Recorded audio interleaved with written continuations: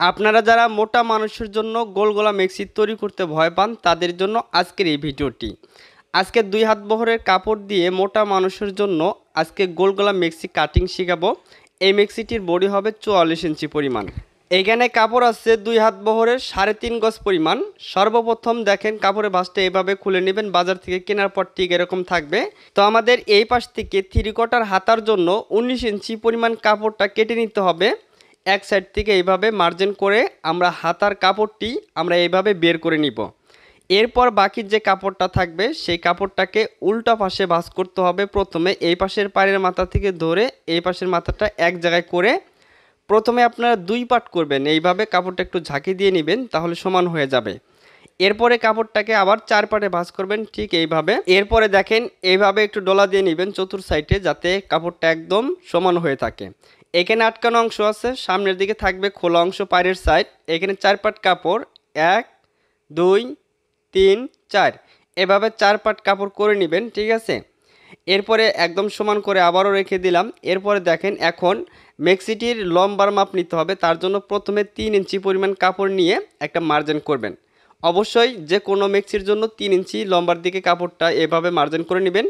এরপর এই কাপড়টা এইখানে ভাঁজ করে দিতে হবে সেলাই করার পর ঠিক আছে?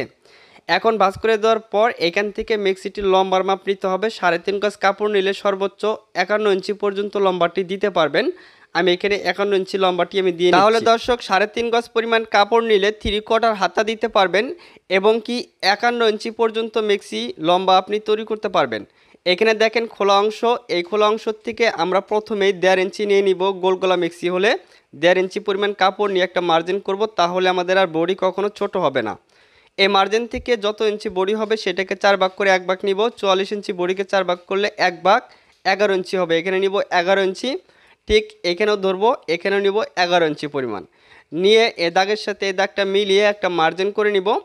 এরপরে দর্শক, সামনের যে কাপড়টা দেখতেছেন এইখানে, এই কাপড়টা আমরা এখানে ভাঁজ করব।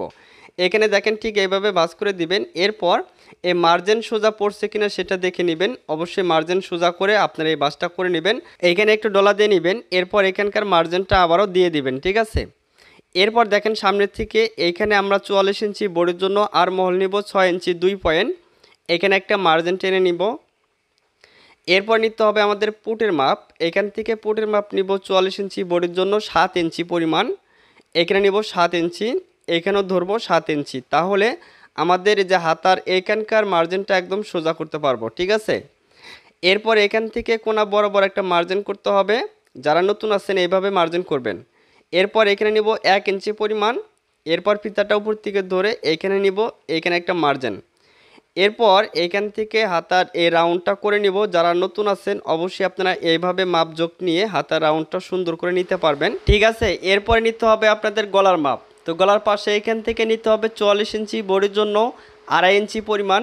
এখানে নিলাম আমি আড়াই ইঞ্চি।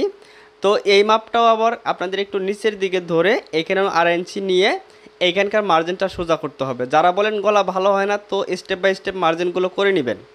এরপর এখান থেকে গলার লম্বাটা নিব পাঁচ ইঞ্চি, চুয়াল্লিশ ইঞ্চি বডির জন্য আপনি চাইলে আরও বড় রাখতে পারেন, সমস্যা নাই। এখানকার মার্জিনটা এভাবে দিয়ে দিবেন। এরপর গলাটা খুব সুন্দর করে এইভাবে গোল একটা রাউন্ড শেপ দিয়ে দিবেন। যারা নতুন আছেন এইভাবে রাউন্ড করে নেবেন। এখানে যে কাপড়টা আছে, এই কাপড় থেকে আমাদের গলার পট্টির কাপড়টি বের করে নিতে হবে। অর্থাৎ গলার যে গোল রাউন্ড শেপটা এই কাপড় থেকেই বের করে নিতে হবে এইভাবে। এখন এইখান থেকে দেখেন, গলার পাশে নিয়েছিলাম আড়াই ইঞ্চি এরপর এখানে যতটুকু পরিমাণ কাপড় আছে, এখানে দেখেন দেড় ইঞ্চি আর এখান থেকে লম্বার মাপ নেওয়ার পর যে মার্জিন এই মার্জিন থেকে নিব আমরা দুই ইঞ্চি। এখানে একটা মার্জিন করে নিব। মার্জিন করার পর এই পাশে যে দেড় ইঞ্চি পরিমাণ কাপড়টা আছে, এই কাপড় বরাবর একটা মার্জিন করে দিবেন। ঠিক এইভাবে মার্জিন করবেন। মার্জিন করার পর গলার এখানে যেভাবে রাউন্ড করছেন, তো এইখানেও ঠিক একইভাবে রাউন্ডটা করে নেবেন। তাহলেই দেখবেন যে গোল একটা শেপ চলে আসবে গোল গলার। তো এইভাবে রাউন্ডগুলো করার পর প্রথমে গলা কাটিং করবেন। তো দেখেন যে গলারটা কাটিং করে নিলাম, তো যেভাবে মার্জিন করছিলাম, তো সেই মার্জিন দেখে দেখে আমরা এখন কাটিংটা করব। এই যে দেখেন গলার পট্টির কাপড়টা বের হয়ে আসলো। এটা কিন্তু চুয়াল্লিশ ইঞ্চি বডির জন্য গোল গলা মিক্সি কাটিং করলাম। এখান থেকে এটা হচ্ছে হাতার আর মহল। ঠিক এইভাবে কাটিংটা করে নেবেন, খুব সুন্দর করে। কাটিং করে নেওয়ার পর দেখেন এই পাশের যে কোনাটা, এই কোনাটা কেটে একদম সমান করে দিতে হবে। এখন এইখান থেকে কুচির জন্য আটকানো সাইড থেকে নিতে হবে ছয় ইঞ্চি, চুয়াল্লিশ ইঞ্চি বডির জন্য ছয় ইঞ্চি নেবেন। এখানে চিহ্ন করে এখান থেকে যখন সেলাই করবেন কুচিটা দিয়ে অ্যাডজাস্ট করে নেবেন।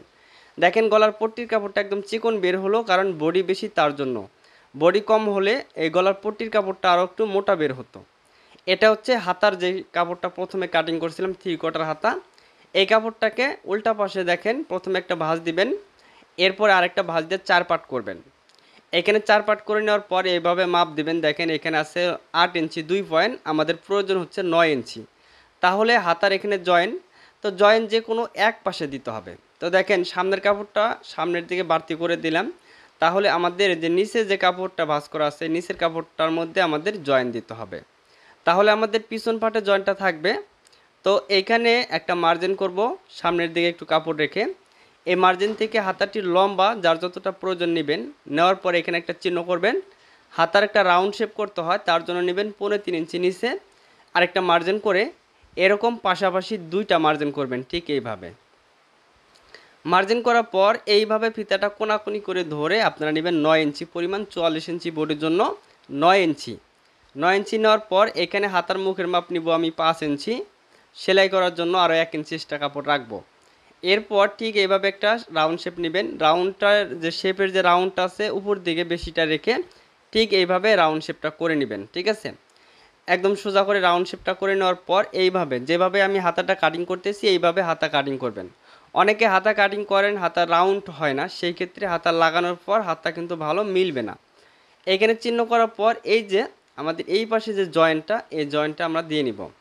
এইখানকার থেকে ছাড় থেকে যে কাপড়টা বের হলো এই কাপড়টা এখানে দুই পাট আছে। এইভাবে বসিয়ে আমরা একটু কেটে নিব।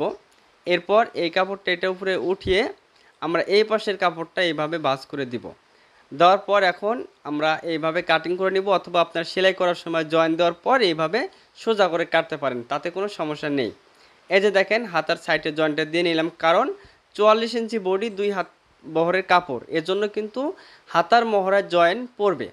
আড়াই হাত বহরের কাপড় নিলে কিন্তু হাতার মহড়ার জয়েন পড়বে না। যদি ভিডিওটি ভালো লাগে আপনাদের কাছে, অবশ্যই লাইক, কমেন্ট, শেয়ার করবেন। সময় কম থাকার কারণে এটা সেলাই ভিডিওটা দিতে পারি নাই, কারণ কাস্টমারের জন্য ইমার্জেন্সি একটা কাজ করে দিয়েছিলাম, তো তার জন্য এটা কোনো সেলাই ভিডিও করতে পারি যারা সেলাই ভিডিও সহকারে দেখতে চান, এই চ্যানেলে আপলোড করা আছে, সেই ভিডিওগুলি দেখে নিতে পারেন। আর এই ভিডিওটি ভালো লাগলে লাইক, কমেন্ট, শেয়ার করে দিবেন। চ্যানেলে নতুন হয়ে থাকলে সাবস্ক্রাইব করবেন। দেখা হবে পরবর্তী